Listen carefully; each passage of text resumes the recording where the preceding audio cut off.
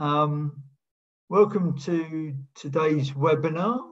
Very interesting subject matter, which some of you, uh, which is why we're getting quite a number of um, joiners, um, exploring the, the pros and cons of four-day working week.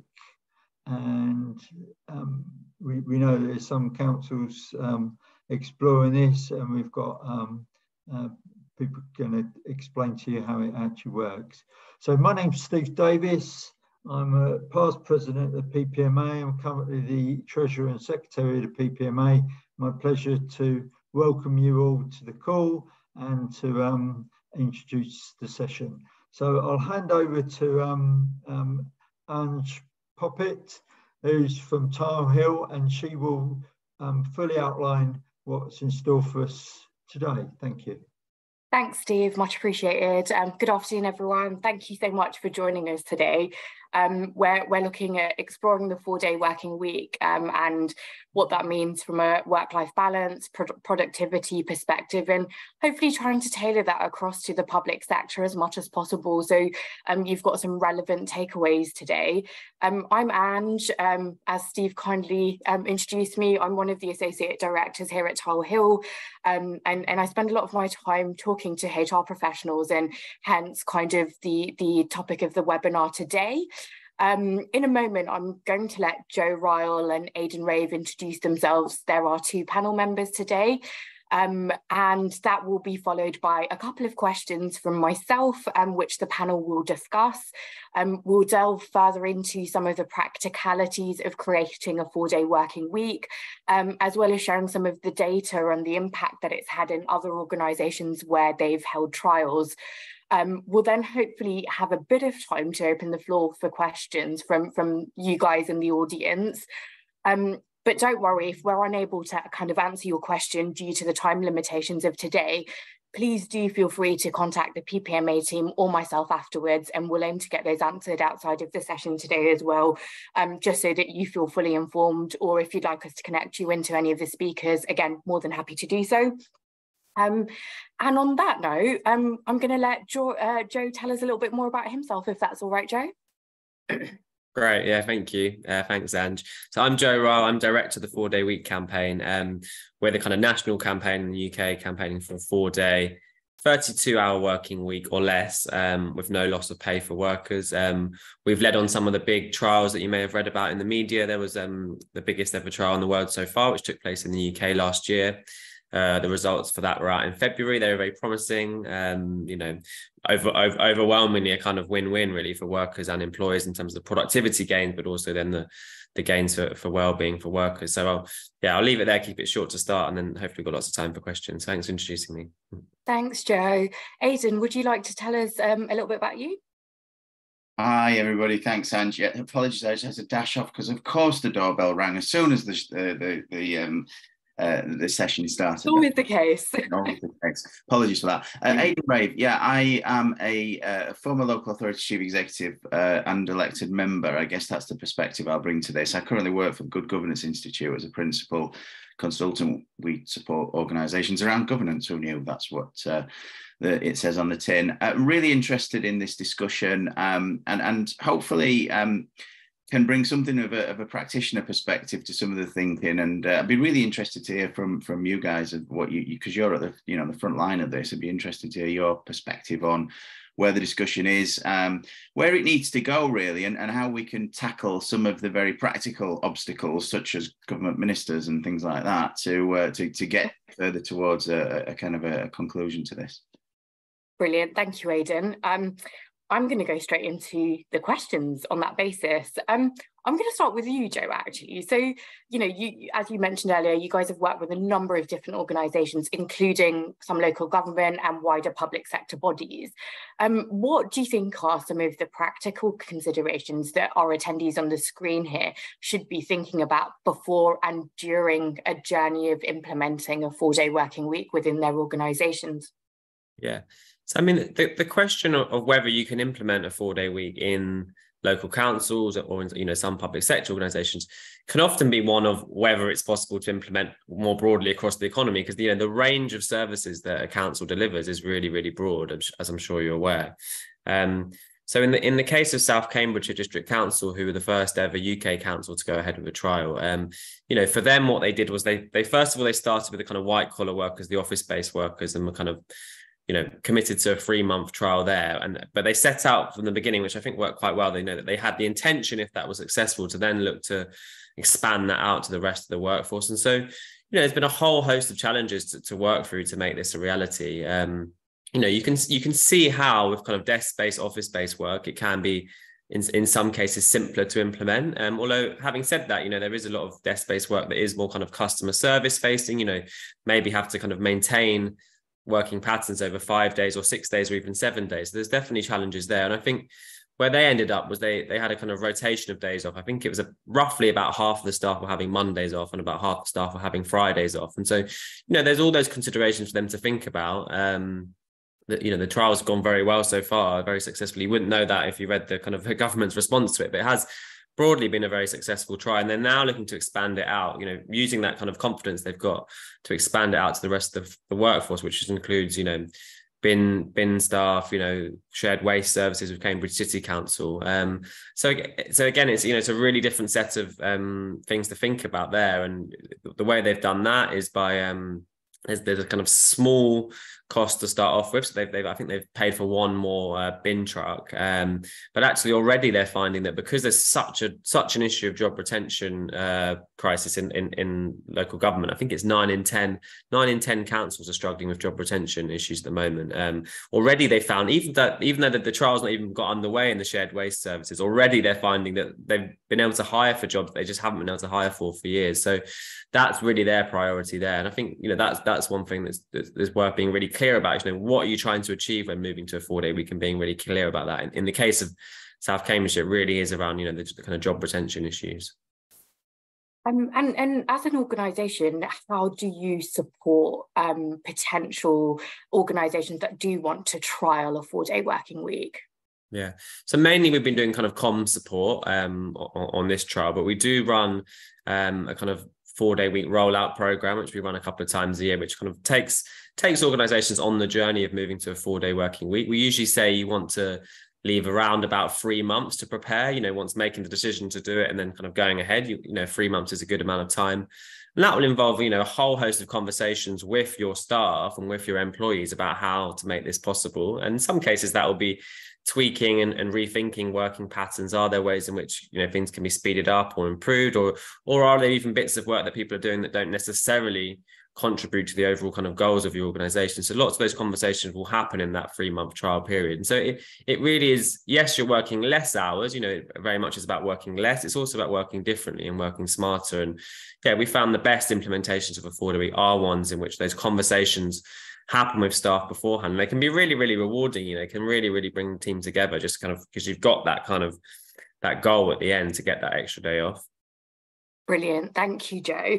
Um, Aidan, you know, with your former roles, local government chief exec, previous elected member, um, to, from that perspective, what do you envisage would be some of the challenges um, that that you know officers, HR directors, chief execs would get when they're considering this type of arrangement in, in the local government context?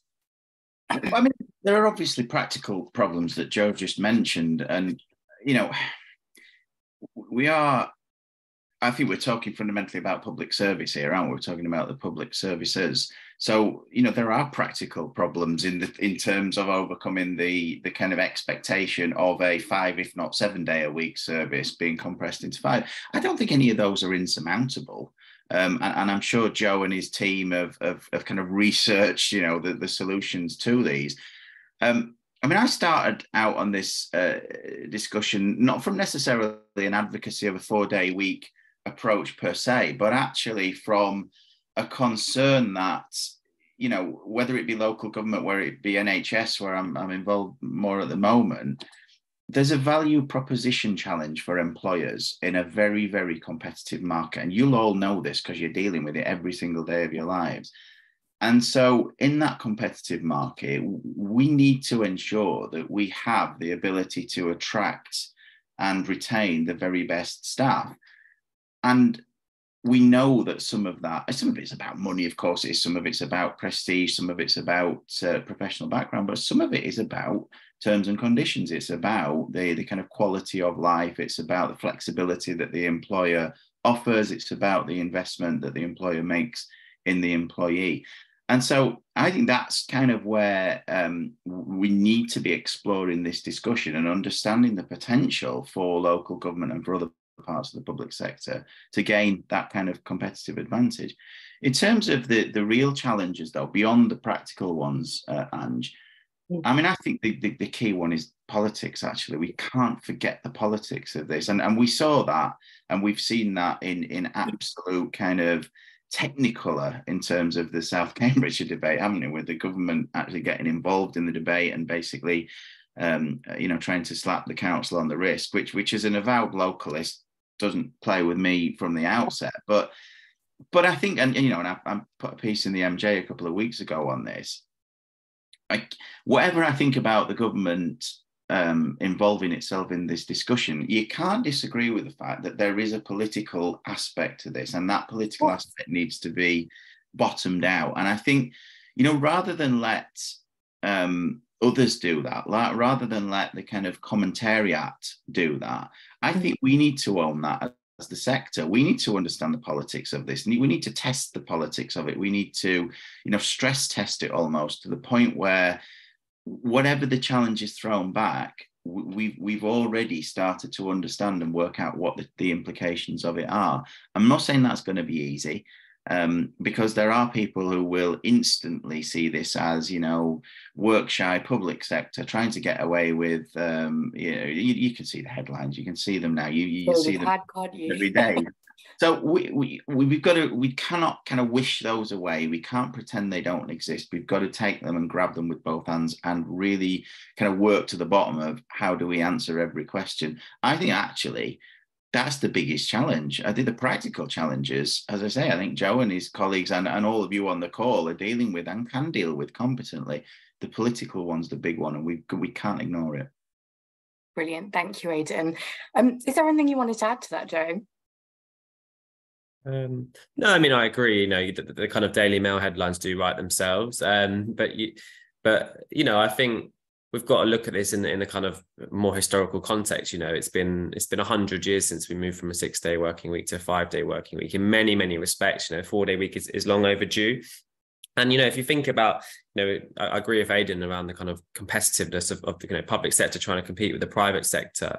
But you know, if you look at the last 13 years, public sector and local government have had budgets cut every single year. And you know, this is a way in which local government and council are saying, look, we can innovate, we can we can do this, we can find our own way, you know, very much local, you know, lo- local led, you know, led by local democracy, our own way to kind of make things work. And we I think it's absolutely, you know, I, I do think it was shocking that the government intervened in the way they tried to. Um, particularly because at the you know at the very basis it's just a trial at this stage you know no, no one's saying this I'm not even saying it necessarily is going to work in local councils. You know, we're, we're trying to find that out. Um, and you know, it's really encouraging so far, and I'm pleased they've expanded that uh, by by another year. And actually, as a result of the, I was saying just before the call, as, as a result of the um, government's letter, we've now got another about ten councils in a working group who are interested in, in bringing forward their own trials. So we'll see what happens there but you know I, I really do think it, it is time for change when it comes to working hours. And the, you know the covid pandemic has given us that opportunity to to totally rethink the world of work and to make it work for, for most people. Okay thank you. Um, and then kind of bringing it back to perhaps you know we we all think data statistics etc help inform our decisions. We use analytics a lot um, uh, uh, you know across the public sector and, and also within our own sectors um, with the work that you've been doing, Joe, um, what's the data shown in terms of things like the important questions here are going to be product, productivity, engagement, attraction, retention across the workforce? And, and if you could distill that down to some of the statistics you've had, particularly from local government, that'd be really very much appreciated. Yeah. So the first, the biggest ever trial in the in the public sector actually took place in Iceland a couple of years ago. Um, it was run by the Iceland government and was across the public sector um, in various institutions, including healthcare. And they, you know, that there there was an initial extra cost. I think there was some additional staff they had to hire initially, but over the three or four year period, because because of the savings that were made through job retention, also through staff just working better, you know, it tends to be the case, and this is nine times out of ten. You know, when when staff are better rested, they do then bring that back into the workplace. You know, performing better in their roles, and that's where most of the productivity gains come from. Is it's being better rested, but it's also then being more motivated to perform better in their role. And so that that trial in Iceland was overwhelmingly successful. Um, you know, productivity went up, the well-being of workers dramatically went up, and in the end, it was cost neutral over that three-year time period. And as a result, I think now 86% of Iceland's population, you know, it's a small country, but um, 86% of the population have now reduced their hours uh, with no loss of pay. Um, and again, the early evidence from from South Cambridgeshire, which is the only you know big local government trial we've got in the UK, is, is very very similar. You know, um, I think it was nine out of so the, so the data was analysed by um, the Bennett Institute at the University of Cambridge, um, totally independently, and they found that nine out of 16 areas monitored showed substantial improvement just over that three months. Um, I think there was already savings of around £300,000 just because they've been able to hire for, for, for jobs that we were never able to hire to hire for before. I think it was I think it was two million pounds was being spent every year on agency staff to, to, to plug some of these gaps. And already, you know, they've they've really made a dent into that. And that's, you know, I should emphasize that's at the point where um they haven't actually, you know, they haven't actually made any commitment to the four day week at this point. So even though even though they haven't made that commitment. So any new staff joining, no, it's only a trial. You know, it's already making a huge, huge dent in the job retention issue. So yeah, it really has been. And, and again, just the last point I'll make is that you know that that that, that data from um, the Bennett Institute showed that, not no area of, of performance that is, is measured showed any kind of concern. Um, so we'll see. That's that's the kind of first three months. Let's see where we are in in, the, in another six months. But but really really really encouraging so far. Thanks, Joe. Pam, I've noticed that you've put a quick comment about evidence. Hopefully that helps to kind of give you an idea um, from recruitment and retention. Um, Joe, do you know if there's a link to the data collected by the Bennett Institute and whether we can share that with, with some of the individuals on, on the call? Yes, there is. I will dig it out while we're on the call and I'll post it in the chat. Lovely. Thank you so much. Aidan, was there anything that you wanted to add? I mean, just a, a, kind of personal reflection that I, I visited a few years ago um, the Google headquarters down in London, ju- just quite serendipitously because the the guy who ran it happened to be in our patch in South Kesteven, and um, it, it's just interesting, kind of listening to Joe's reflections on on kind of the wider economy, if you like, that the approach that they were taking. Now, no, Google's probably fairly extreme example. It's at the the very kind of beanbag end of the economy. We know that, but the approach they were taking was very much that they were moving away from the kind of notion of, of kind of regulation. It was very much about task. It was very much about recognizing flexibility in terms of their employees um, and ensuring that they had um, the opportunity to be able to fulfill the task in an environment that, that, that kind of was conducive to that and in a time frame that was business critical still, but but ultimately, you know, they they got their opportunity to do it how they wanted. And I'm not saying, you know, just because Google does it, therefore local government should do it. But this is that point about we we need to be open eye to what's going on in the wider economy because the, you know, if if Google do it one day, then several other parts of the economy will do it the next day. And and and you know, and, and I think Steve's made the point, you know, if, if everybody moves to a four-day week, well, the recruitment and retention angle disappears. Well, I think the point is we if if we don't keep up with that debate, then we'll become less competitive as a result of the rest of the economy moving in that direction. Um, and, and I think that goes for kind of flexibility as a whole. So it, it's it's telling. There's some CIPD research which I might, I'll try and dig out if I can do it on the call. I'll stick it in the the chat. But I was reading it a while ago, and it was um, it was it was saying basically that the that you know I think something like eighty percent of companies haven't tried this year, So we're, we're still in it. Joe may know that figure better than I, but I think it's a relatively small section that have uh, moved to it. But of those who have, almost all are sticking with it, which is really telling. Um, you know, because these people aren't in it for the fun of it. You know, they are in it predominantly to to turn a book, aren't they? I mean, that's what they're there for yeah. uh, in, in, the private sector. So they're doing it because they think it's going to make, make them more competitive. I, I, I, you know, go back to my fundamental point. We can't afford to ignore that.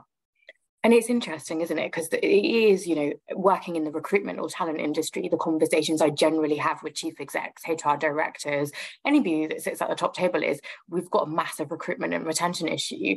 Um, and, and hopefully what, what today's given is some insightful points, a few things for people to think about and a lot of food for thought to kind of take back. And I imagine there's going to be a lot of questions for that. Um, so I thank thank you both for your time. I think I've noticed there's one question. I think Steve, you're helping us with um, with the questions, aren't you? Um, so if we could just open the floor up to to any questions from the audience, um, and and we can try and answer those in the in the final kind of eight or nine minutes that we've got left. And anything we don't, um, I promise we will collate and come back to you. Thanks, Joe and Aidan. Yeah, I, I, suppose one of the questions that was in the chat, thank you, um, uh, Joe and Aidan, um, was saying about uh, the, the, combination of hybrid working with the four-day working week. Um, and Rob's asking uh, if there's any kind of successful formula for that and whether you've come across that, uh, Joe, in the, the work that you've been doing with companies. Yeah, I can quickly answer on that. I mean, I, I, think they definitely can be considered together, and I know, I know there's a there's quite a few organisations who've got to the point where they're like, well, look, we've just spent years working out this hybrid working thing. We're not ready to do the four day week now. You know, we've just, but actually, I, you know, I do think they do relate to each other quite well. And personally, I, I think, you know, I think there's a real benefit to being in the office. I'm not saying that needs to be every day, but I do think there's there's real benefit to that kind of coming together as as people, and and you know, you can work work better in many cases. Um, but, but but maybe that's two days in the office, two days at home, or three days in the office, one day at home. I don't know, but I think you know I think it should be flexible for everyone to work out what's best for their organisation. But absolutely, I think they can be considered together. Thanks. Uh, one of the questions for me, um, with the trials that have uh, been undertaken, um, I mean, you talked uh, initially before we joined uh, joined the call with everybody, Joe, about you tend to sort of tend to just do um, uh, you, you attach your non-working days to the weekend. But I just wonder with the companies that are doing it um, on the trials, did they look to swap around the days? So perhaps have um, potentially a Wednesday or a Tuesday or Thursday, so they didn't link it. So you, are still potentially getting um, an extra day off, but it's not necessarily attached to the weekend. Was there any trials that looked at that? Yeah, and and, and the UK one in, included that. I mean, the most popular option is to have a kind of Friday off, um, followed by a Monday. So so you get that kind of three day weekend. And um, but of course, it's just not possible for, for some organisations, especially as you know the workplace, you know, the world of work is still so dominated by this kind of nine to five, five day week. As that changes, maybe there'll be more, more, more flexibility. But while that still dominates, you know, there's been all sorts of different patterns. Yeah. And and, and sometimes that'll be a whole organization with some having Monday off, some having Wednesday off, some having Friday off, or, or for some organizations, it will just be particular departments. You know, for example, if you've got a kind of media team, you know, the media doesn't doesn't stop writing stories on a Friday. So they may have to rotate, you know, have a different they may even their department have different day off and to make sure they've got the whole coverage across that week. So there's lots of different ways of doing it. And yeah, as long as from our point of view, as long as the, the reduction in hours is, the, is broadly the same across the board, it doesn't matter too much. And we think it should be as flexible as possible. Well, one of the things um, I, I, was wondering, and I haven't looked enough at the South Cambs um, trial, was um, how they've managed the um, equal pay issues because if they've only got a portion of their workforce doing the four day week, I mean, uh, and then other more frontline ones are not doing it, they've got, surely you've got equal value claims sitting in there. I think because it was just a trial, um, you know, so staff kind of more informally opted into that trial rather than changing contracts. I think they're okay. And I think because they were very, very clear from the outset that they're definitely going to expand it to the rest of the workforce as long as the three months trials is successful. I think that that brought in, you know, everyone was kind of on board in that way. But yeah, I, I do think there's a real risk in in not showing the path to including everyone. Otherwise, you are going to risk uh, creating resentment. I think for, for, for some section of the workforce. Mm. Uh, the other thing, actually touching on equal, but I was just thinking for some organisation, well, sorry, local government generally, you've got something like, uh, on average, 10% of the workforce is part time, and therefore there would be an immediate cost there if you was looking to do the workforce um, reduce it, so you're giving people effectively a 20% pay rise, you'd proportionately have to pay more. So although you might think you're not paying out any more and you're getting more, but for the part-timers you would, and if they constitute 10% of your workforce, that's potentially quite a significant cost, isn't it? And Sally from um, Hertfordshire has just mentioned in this chat that 30% of their workforce is part-time. Um, and there's a, been a couple of other comments in the chat about what impact would this have on, on salaries for those that have prorated salaries and are working part-time? Yeah, so we've seen part the, the issue of part-time workers, which I would say, you know, we talked about challenges at the beginning. It, it can be one of the, the bigger challenges to work through. Um, we've seen both both local public sector and private sector deal with it quite differently. In some cases, they, they yeah, there has been that kind of that pay rise, the kind of pro rata pay rise, but in other, you know, for other organisations, that's just not possible. Um, and so what they have done there is um, reduce kind of part-time staff uh, hours accordingly, or in some cases allowed them to accrue more annual leave. So rather than just accruing an extra hour kind of one week they'll, they'll, they'll kind of build it up until they get a whole extra day off. Um so there, there has been various different ways of doing that. It hasn't been as straightforward as in every case. There's been a kind of pay rise for all part-time workers. Because for many companies and organizations it's just not possible particularly in the kind of you know the way the economy is right now Thanks, Joe. Pam, Pam Parks has made a good comment actually about saying that actually in local government, um, it would be helpful if you could have some um, definitions of what productivity means. Um, and I think actually most organisations would want to um, uh, understand that. But obviously, because some of the workers' um, productivity is less well defined or or applicable, and then that would facilitate um, uh, uh, pushing this as an angle, wouldn't it? There, there is actually on the ONS website, there's some reference to public sector productivity, but not it's not great. And um, as I made the point in the chat, in, researching uh, this this subject uh, for, for the article I wrote a few weeks ago, I couldn't find an awful lot out there. So it is definitely a bit of a gap in in terms of um, the, the, the kind of data to you know to to underline the, the case. Uh, just you know it's interesting. We've been asking questions on this call from a technical perspective, you know, the ones about what happens with people who are on part time already. How does four days work if you're already doing four days?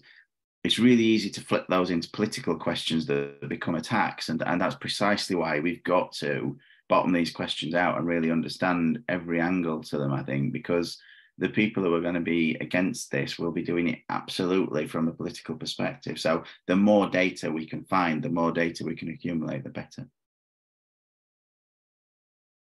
Thank you both. Um, just a couple of other questions that I can see on there. Um, someone, uh, Joanne Langford, has this been tried within the education sector, Joe? Are you aware? I know there's I know there's one or two schools that are looking at the moment. There's a, there's a few schools that have already moved to four and a half day weeks um, successfully in the UK. There's a big movement for four day working week in the US at the moment. There's thousands of schools that have moved to four day weeks. So I think they have slightly longer hours on the four days, um, but you know they're definitely having Fridays off. But I think I know one or two schools that are really looking at how they can make it possible. There's a there's a set amount of hours that schools have to deliver. I think it's 32 hours of teaching time across the week, so that can make it a bit more challenging. But I know there's definitely you know I mean if we're talking about job retention issues, obviously that's huge for teachers at the moment. So um, there's definitely consideration of it. I think that it's kind of for the few schools that are, are interested, it's kind of see is is it actually possible? Um, they're trying to work it out. Um, yeah, thank you. There's another question actually from Jill Jill Johnson. She's asking about the um, uh, the, the way to approach this subject matter with our own organisations and proposal. Um, and is that some stuff you mentioned comms at the beginning? Joe, that your organisation provide in terms of helping to support um, so, some of this stuff. And I imagine that South Cambridgeshire as well has brought together some some work on that for um, local authorities. Yeah, I'll, I'll put my email address in the chat because very happy to support on that in terms of like making the case, you know, to the kind of board board level. Um, and then yeah, there, there's a there's a bunch of kind of working groups and meetings taking place anyway at the moment with, with quite a few councils, so we can try and involve you in that. So yeah, do do drop me a line. I'll I'll get in touch. Well, we only allow uh, about 30 minutes on this subject matter. I'm sure it's a subject matter that quite a few people have got more questions and all that. So I'm sorry we're looking to potentially cut this short here. It's a really interesting subject matter. Um, I think it's definitely an appetite for some organisations exploring it um, more than others, especially those that are um, um, suffering sort of uh, significant recruitment retention issues. We've explored some of the pitfalls and hurdles that we might have to explore as local government um, in this arena for to um, any organisations to potentially take it forward. But I think it's something that we'll be um, um, looking at a bit more, and there'll be a few more organisations I'm sure that will be exploring this in more detail over the the, the, the, coming months or so. So um, want to thank um, Anj for um, um, introduction, for hosting this webinar, for Joe for the work that he's uh, been doing with the 4 Day week campaign and for his contributions today, and obviously Aidan as well in terms of his reflections in terms of um, the, the, the, political um, aspects that this, um, uh, this subject matter sort of brings into question. Anyway, thank you um, everybody for joining. This is recorded and we will um, share the recording with our um, uh, membership um, at a future point. So I want to thank you all for joining us. Thank you. Thank you everyone. Thanks. Have a good Friday. Thanks.